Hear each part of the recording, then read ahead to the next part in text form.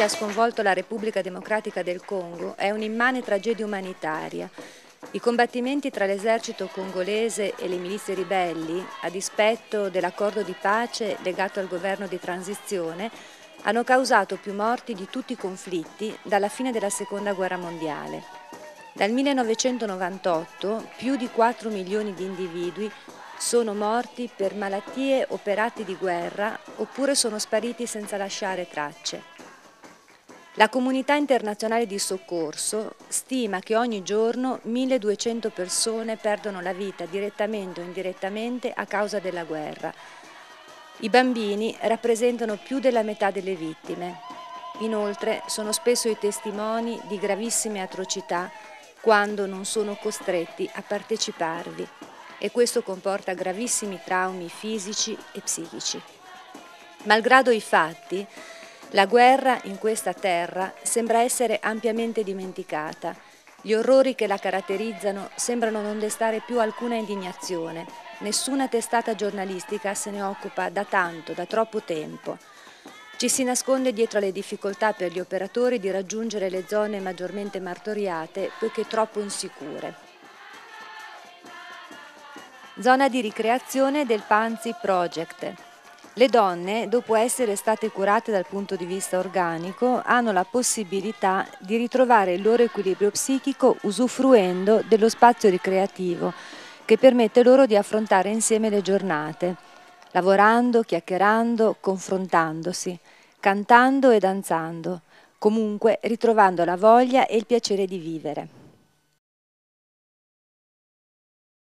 Il Panzi Hospital rientra in un progetto dell'UNICEF che provvede al supporto clinico e psicologico delle donne sopravvissute a violenze sessuali. Nel Congo devastato da una lunga ed atroce guerra dimenticata, la violenza sessuale viene utilizzata scientemente come arma di guerra al fine di umiliare, intimidire, piegare famiglie se non comunità intere per arrivare ad imporre alleanze forzate. Le violenze di gruppo, le mutilazioni, le violenze commesse introducendo oggetti nei genitali sotto gli occhi dei familiari, di bambini, di amici, sono all'ordine del giorno. Inoltre, le donne che subiscono tali violenze spesso vengono ripudiate dalle loro stesse comunità di appartenenza. Si può ben capire in quali condizioni queste povere donne possano versare. I danni riportati vanno da quelli fisici, per fare un esempio, quante di loro sono portatrici di fistole vescico-vaginali da trauma, cui consegue incontinenza quale danno minore, ai gravissimi danni psichici che inesorabilmente seguono le esperienze di violenza. Non parliamo poi della seropositività all'HIV, ormai considerato virus da guerra. L'UNICEF supporta un secondo progetto destinato sempre alle donne vittime di stupri. È una clinica mobile che provvede a prestare le dovute cure nelle diverse aree di residenza. Dall'agosto 2005 al marzo 2006 l'unità mobile ha assistito 1982 vittime.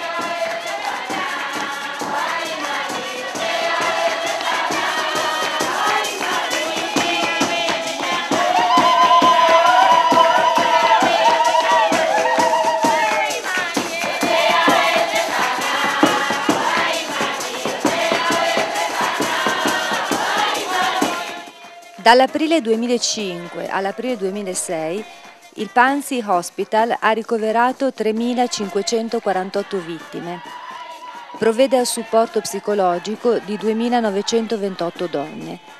Tra le vittime si contano 370 ragazze di età inferiore ai 18 anni, 2.129 sono sposate, 302 sono state ripudiate dalle loro famiglie. 531 sono vedove e 587 sono nubili. 3.159 donne sono state testate per l'HIV e tra loro 112 sono risultate seropositive.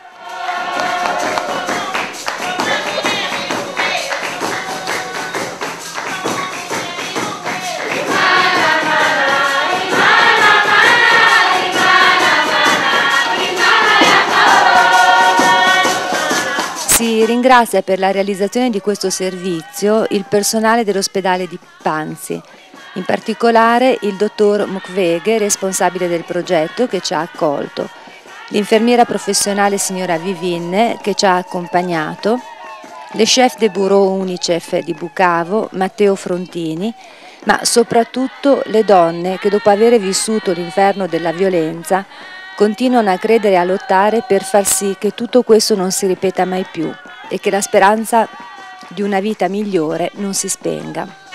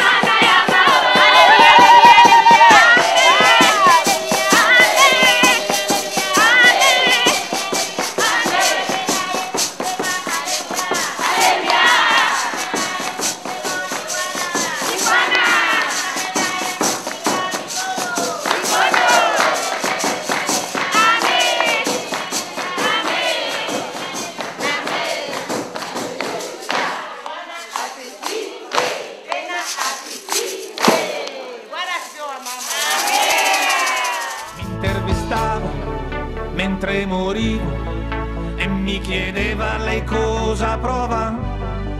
E io sudavo e non parlavo, mi innervosivo e balbettavo e poi pensavo sto perdendo l'occasione di avere un'intervista. Proprio a porta a porta cosa dirò come farò? E poi